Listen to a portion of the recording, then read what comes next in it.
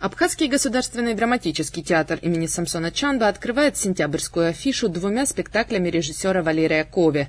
3 сентября «Махац» по Искандеру и 5 постановка «Пешком» польского драматурга Славомира Мрожика.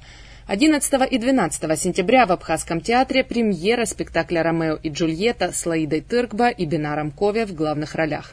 Грандиозная премьера этого лета и прорыв Абхазского драмтеатра 11 и 12 сентября «Ромео и Джульетта».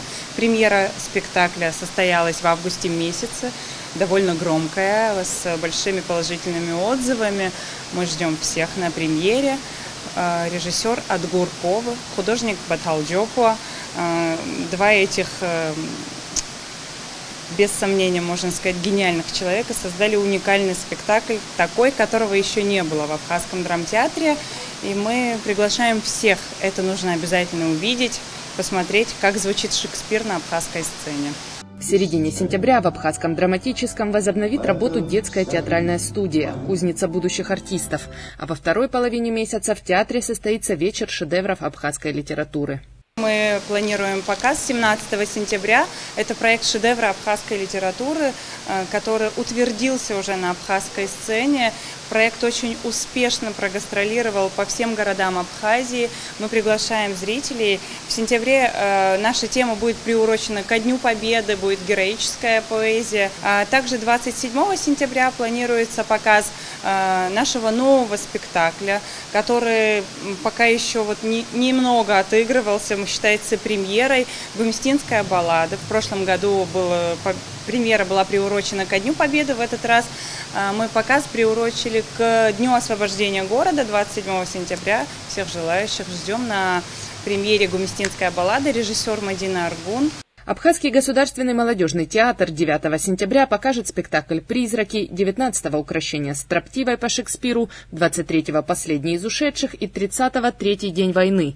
16 сентября труппа молодежного театра презентует премьеру моноспектакль «Белая скала» по произведению Чичико Джонуа. Афиша Государственного русского театра драмы имени Фазиля Искандера создает достойную конкуренцию своим коллегам. В сентябре здесь покажут нашумевший Хаджи Мурат, комедию «Клинический случай» и визит старой дамы дамы. 11 и 12 сентября впервые с гастролями в Абхазию приедет труппа Московского художественного театра имени Чехова.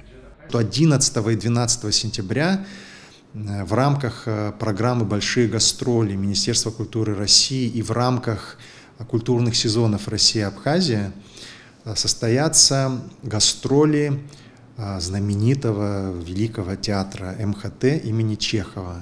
Впервые в истории Абхазии МХАТ приезжает к нам.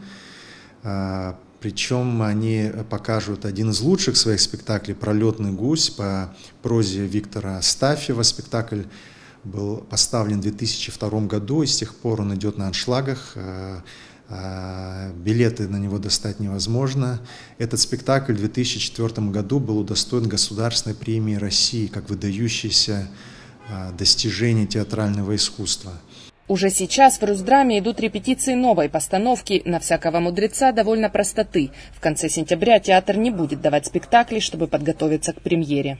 Вот с 20 сентября э, спектакли мы показывать не будем, потому что сцена будет занята под выпуск премьерного спектакля «На всякого мудреца довольно простоты». Это знаменитая, гениальная пьеса Александра Николаевича Островского, сверхактуальная сегодня, сверхактуальна. Те, кто на нее придут на этот спектакль, просто будут удивлены узнаваемостью там, персонажей, характеров, событий.